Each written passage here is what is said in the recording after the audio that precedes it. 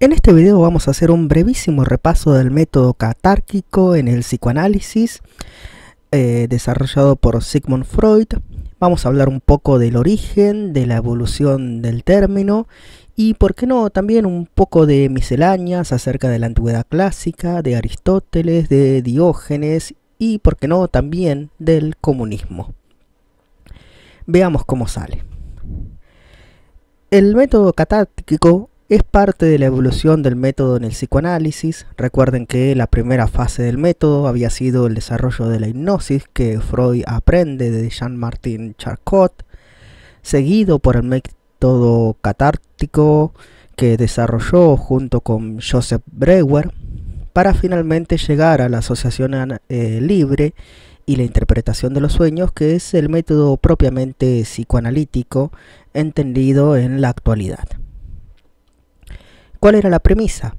Que básicamente la histeria de conversión, es decir, una gravísima enfermedad que tenía síntomas muy severos en el cuerpo como parálisis y desmayos, desvanecimientos, no era en sí un trastorno biológico, es decir, no estaba afectado el organismo de la persona, del sujeto, en su sistema nervioso central o periférico, sino que más bien era un trastorno psíquico, estos graves síntomas eran producto de un trauma pasado, pero este traumatismo no estaba en el cuerpo, sino que estaba en la psique del paciente. El método catárquico entonces consistía precisamente en la purga, en la descarga de estas emociones que producían los efectos patógenos a través de traer a conciencia aquellos recuerdos traumáticos originados en el pasado y poder expresarlo así en palabras. Desde entonces cesaba el síntoma o se le quitaba su poder patógeno. El método fue aplicado en la primera paciente de Freud, una paciente que había sido derivada de Joseph Breuer, la denominada Ana O, la cual había sido eh, traumatizada, por así decirse, a través de la fatídico, el fatídico fallecimiento de su padre enfermo al cual ella había tenido que cuidar. La propia Ana O denominaba el término con el epítome de la limpieza de la chimenea o en palabras mucho más estéticas, la cura a través de la palabra, término que subsiste hasta el día de hoy en la terapia psicoanalítica.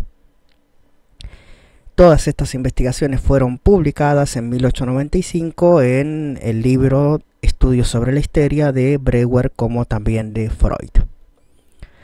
Obviamente el origen del término se encuentra en la antigüedad clásica griega, literalmente, bueno, no literal porque los traductores difieren, pero la acepción más conocida de catarsis es la de purificación fue mencionada o acuñada por primera vez en el Tratado de Poética de Aristóteles, en los que tratan el tema de en qué consiste precisamente una tragedia. La significación original entonces del término está en el teatro clásico griego, en estas grandes tragedias, piensen en por ejemplo Edipo Rey o los trabajos de Hércules, donde precisamente el espectador podía purificar sus pasiones a través de la contemplación de dicha tragedia.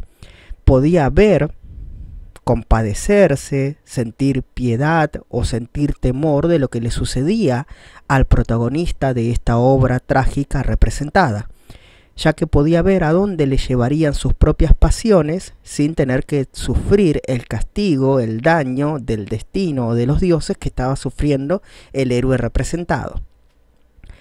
Esto es como un desahogarse, diríamos, en el día de hoy. Yo voy a hacer una analogía muy pertinente que es, por ejemplo, cuando te despertás de una pesadilla y te sentís aliviado de que tan solo había sido un sueño. Bueno, del mismo modo, en esto consistía la catarsis en la antigüedad clásica griega. Ya entrando en un modo anécdota, vamos a contar que precisamente Diógenes de Sinope, Diógenes el cínico, el perro, aquel que había desafiado a Alejandro Magno a correrse del sol porque le tapaba precisamente. Eh, entre las miles de anécdotas que se cuentan acerca de Diógenes, una era que interrumpía el curso normal de las personas que salían del teatro, es decir, se ponía a caminar a contracorriente, incordiándolos, ya que interrumpía el, el normal paso. ¿Por qué hacía esto? Aparte de ser un troll, que lo era. Simplemente era para interrumpir la catarsis y llevar esta evacuación de las pasiones a una reflexión más consciente, o por lo menos así hacen la exégesis en la actualidad algunos teóricos. Otro dramaturgo que estaba en contra de la catarsis era Bertolt Brecht, uno de los más grandes poetas y dramaturgos eh, del siglo XX. ¿Por qué estaba él en contra de la catarsis?